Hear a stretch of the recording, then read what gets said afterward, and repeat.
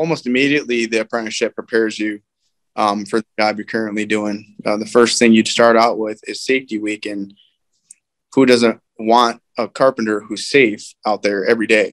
Uh, there was no prep.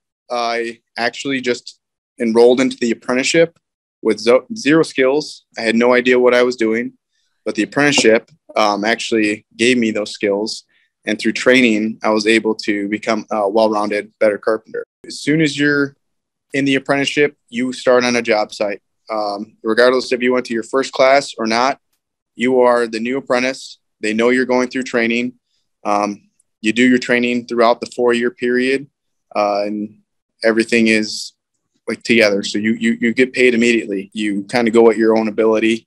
Your instructor comes, checks on how you're doing, uh, gives you tips to how to better improve what you're doing, and then uh, you take that out to the field with you. My line of work is important. Um, is the, the infrastructure of the United States is is based off of laborers. It's based off of union workers. It's based off of the guys who are down there in the trenches, um, getting the stuff done, building the infrastructure of the United States. It's it's important stuff. Um, we're not just guys to look down on. Uh, you know, we we help improve the nation.